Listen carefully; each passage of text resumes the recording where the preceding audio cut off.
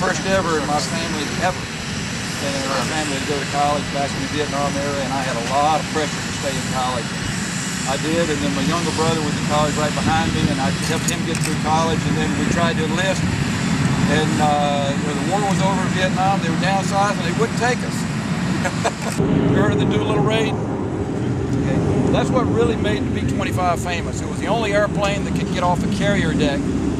So the first strike back, just four months after Pearl Harbor, 16 B-25 launched off the USS aircraft carrier, uh, the US, uh, uh, USS Hornet. Yeah.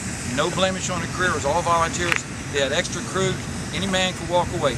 Not one would walk away, knowing that at the end of the day they were probably going to be swimming in the South China Sea. But not one of them would back down. Head on your hands and knees, the first aid kit's on the right side of the airplane. A lot of bandage materials.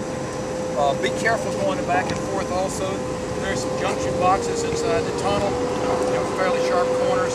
So don't be in a hurry. There's no reason to be in a hurry.